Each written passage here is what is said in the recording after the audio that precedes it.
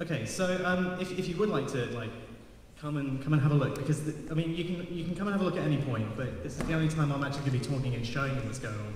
Um, you can also ask me questions during the performance, but I might screw the performance up. So, and you'll have to get real close, you know, so you'll have to kind of come round the whole table and poke your heads in a bit. So, um, I'm going to talk about uh, this Game Boy specifically. Um, so this uh, Game Boy is running um, some software called Nanoloop, which you can buy online. A guy in Germany makes it called Oliver.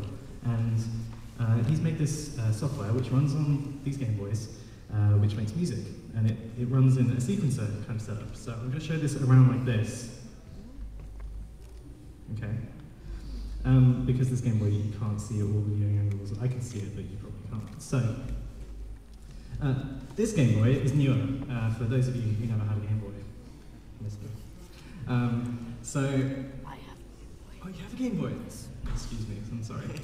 Um, so, so this is Game Boy Advance. Uh, most of you know it. In fact, probably all of you know it. Um, so this is uh, this one came out in uh, the 90s, early 2000s, and this one came out definitely in the 80s, uh, 89. So um, they have quite different sounds and technologies. So uh, this Game Boy over here uh, sounds completely different than this Game Boy over here, but this Game Boy over here sounds totally different than any Game Boy that you've ever heard because it isn't actually using Game Boy sound chip. This one does. This cartridge has a three-channel analog synthesizer in it, so it sounds weird. These aren't Game Boy sounds.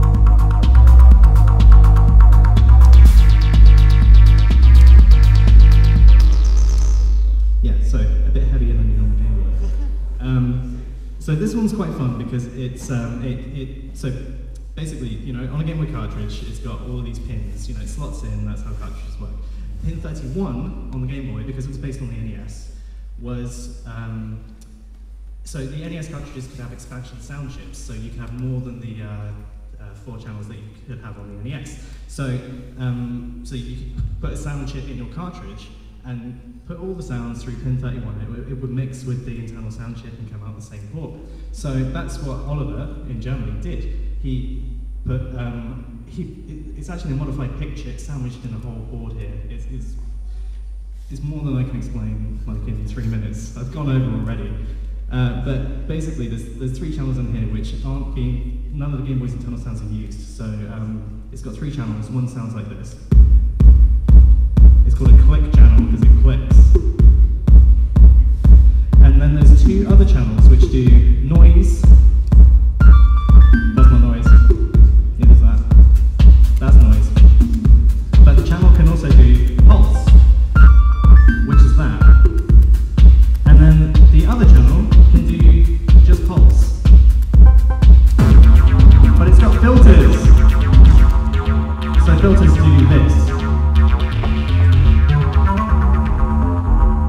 They changed that sound to be a bit squelchy, like, you know, in the 90s when Acid House came out.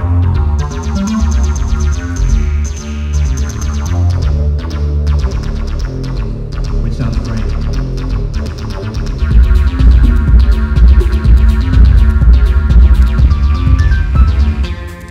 So that's Nanoloop Mono. That is not your normal Game Boy sound, um, but it's really nice. I'm going to show you this one real quick, which is probably where I'm going to take the set from now. So this is Game Boy Advance.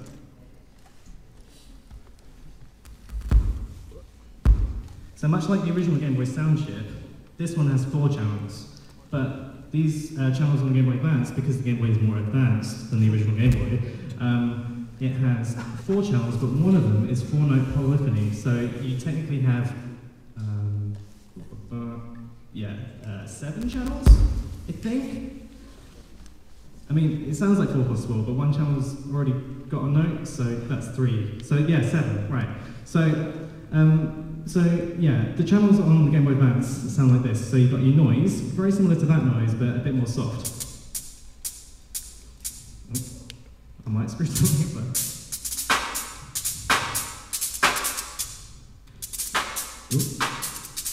Okay. Uh, actually, let's move to something I know. I just I just wrote that one, so it's a bit. There you go. Just turn that for a. So that's your noise channel. Uh, this is your polyphonic channel, so you can do like chords.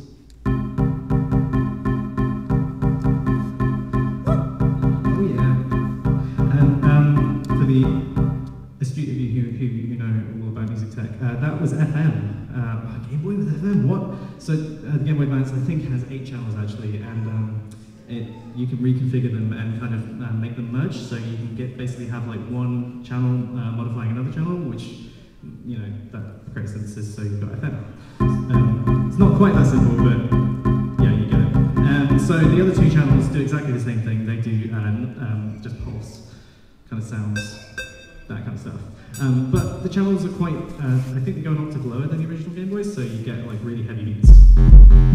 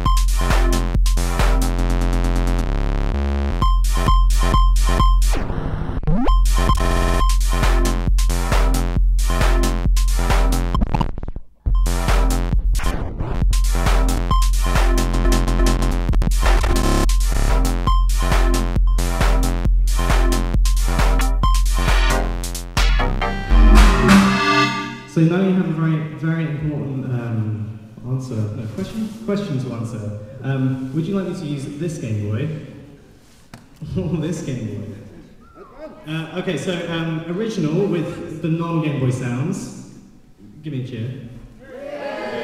Or the advance with the Game Boy sounds. Wow, all right. Uh, yeah, cool, all right. So um, I'm just going to play some stuff. I don't know how long I've got now because I was rambling for ages. So let's say 10 minutes uh, see where that takes me. So yeah, um, let's try something with this then. Um, yes. All right. Um, very very brief overview. Overview. Can't speak. Uh, here we go. Enjoy.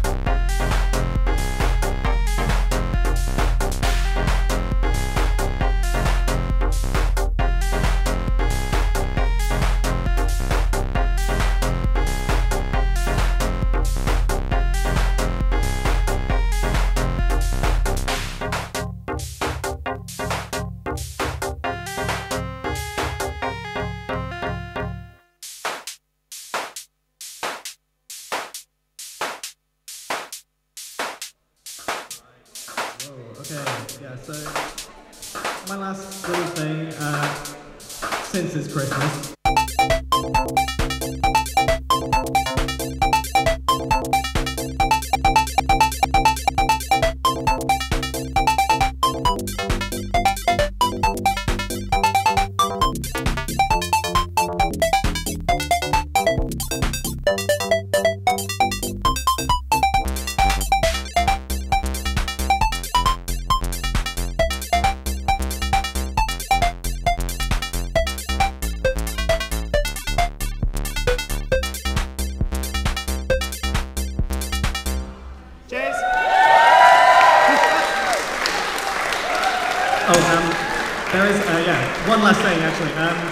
have stickers if you like stickers. Um, they're free, but I've also got cassettes. I didn't play any of the stuff that's on the cassettes tonight, but it is similar. So if you'd like a cassette, come and find me. Um, you've seen my face. Um, yeah, they're five quid. Uh, cash or, or PayPal.